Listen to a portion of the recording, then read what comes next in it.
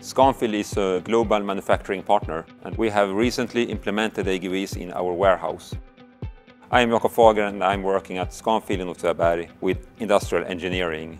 Now we are standing in our warehouse where we have implemented AGVs. The AGVs are operating in a warehouse where we store all the components for our production. And the warehouse is 4,000 square meters big. In this setup, we have uh, built an optimization both in the, the, hardware in the warehouse and also in the software. So we have a full automation integration between our ERP system and Rocla system. The main processes are stock keeping and stock taking.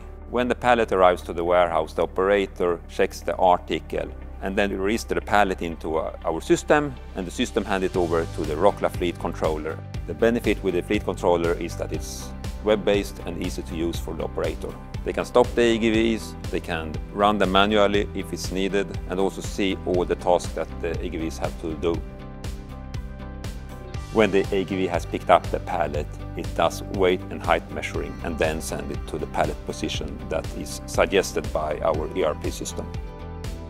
In this warehouse we have uh, standard material racks and the width of the aisles are 3.2 meters. We implemented reach trucks in the warehouse because they can work in the very narrow aisles. When the stock level is reached in the production, a task is sent from our ERP system to the Rocla system. The Rocla AGV is fetching the pallet in the pallet rack and transport it to a picking zone where the operators are unpicking the material.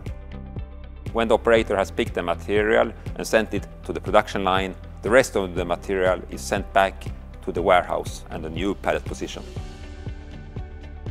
With the AGVs in the warehouse, the warehouse is organized, optimized, and the stock accuracy is much better.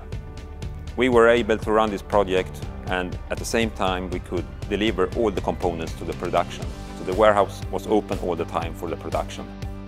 If it's needed in the future, we can expand the warehouse with more pallet racks and even more AGVs.